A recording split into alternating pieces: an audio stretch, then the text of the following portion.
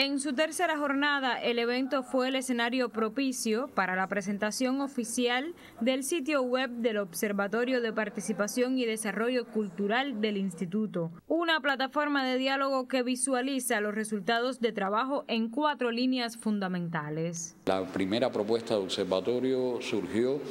a inicios de los 2000 a raíz de la segunda encuesta nacional de consumo cultural, donde ya acumulábamos un conjunto de investigaciones, de resultados concretos, de trabajo con las universidades a partir de tesis, de diplomas y demás, que eh, eh, posibilitaban eh, una plataforma para visualizar en definitiva y mostrar los avances, los resultados y compararnos con otros observatorios internacionales básicamente con los aportes de todos los actores de desarrollo del país, de las distintas provincias, municipios y demás. Necesitaba una, ya una actualización y eh, se hizo una nueva propuesta a partir de, del 2023 que eh, eh, ofrecía tecnológicamente una visualidad importante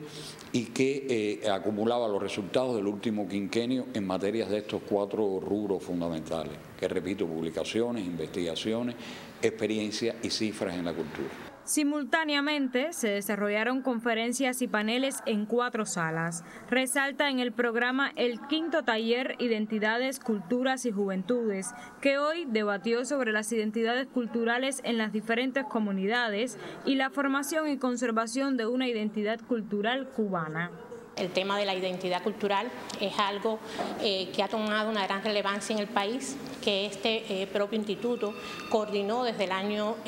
2016 eh, con la Universidad Central de las Villas un grupo de investigaciones y la celebración de este simposio permite socializar un grupo de resultados, pero sobre todo establecer alianzas para acciones futuras de investigación y no solo en el campo de la investigación, sino también en el campo de las acciones concretas que necesitamos desarrollar a lo largo del país, no solo diríamos eh, centrarnos en la parte eh, relacionada con eh, las proyecciones desde el punto de vista de metodologías, que son muy importantes, sino también en las acciones vinculadas a esas metodologías que resultan fundamentales en este momento. En este primer simposio de carácter internacional, con la participación de países como Brasil, Colombia, Chile y México, Vale destacar la labor humanitaria, pues el Instituto Cubano de Investigación Cultural Juan Marinelo recaudó medicinas y materiales hospitalarios para donar al servicio oncológico del país. Yo acho muy importante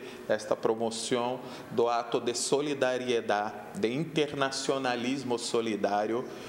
una vez que Cuba, el pueblo cubano, el pueblo cubano es muy solidario con los pueblos latinoamericanos. Desde las artes y la literatura hasta el marxismo cubano, la revolución y la identidad cubanas, se abrió el abanico de temas desarrollados en paneles y conferencias en el Instituto Juan Marinelo, que mañana continúa con la última sesión del primer simposio internacional de investigación cultural. El camarógrafo Andrés Beceiros e Ivania Williams Carballo, Habana Noticiario.